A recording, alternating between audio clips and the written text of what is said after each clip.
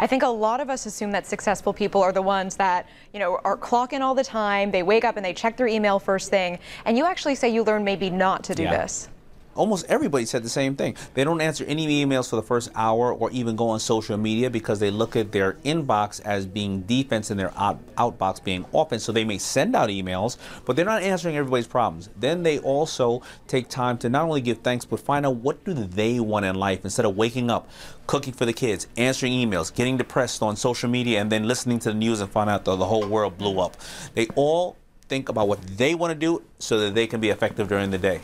So we know that that's what we should be doing. Be honest. What do you do first thing in the morning? Are you checking social? Are you checking your email? Are you checking the news? Well, you know what? I, I, I think I have an effective uh, lifestyle, but I really didn't start trying to make a book. I started trying to find out what was going on with a lot of my friends, and then I started to correct my lifestyle because initially, when I woke up, I used to, um, I don't really check emails. I do all those methods, but I also used to work out at night because I said, I don't have time in the day. I'm taking good hour, two hours out of a busy day. What are you kidding me? I'm going to do that at night.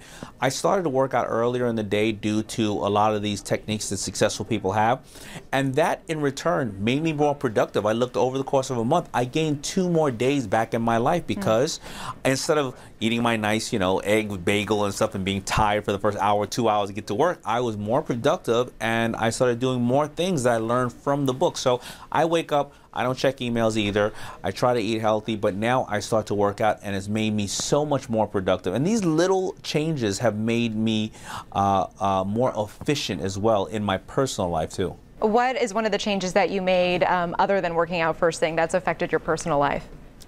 Some of the changes I made that I learned from Grant Cardone is now I may make a meeting at 9:06 or 8:54. It shows people that they cannot be late and they need to be on time, and that I'm clocking everything they do, and I need to also improve my life doing that. I also, because I have a two-year-old, uh, brand new baby, and a lot of things going on in my life, I schedule time with my loved ones to make a call to my mother to tell her I love her, to take my daughters out on a date, a daddy, a daddy date, and or my wife, because we often say to our family, "We'll get to it tomorrow. I'll see you in the weekend. I'll talk to you later," and we never get to it because we schedule everything else as a priority except for the personal times with our families.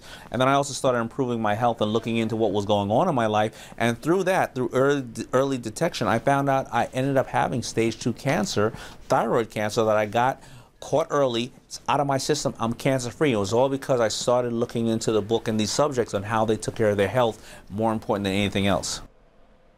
I did not know Wow, that. What a uh, that's bombshell. overwhelming, yeah. Wow. Hey, highly effective people, right?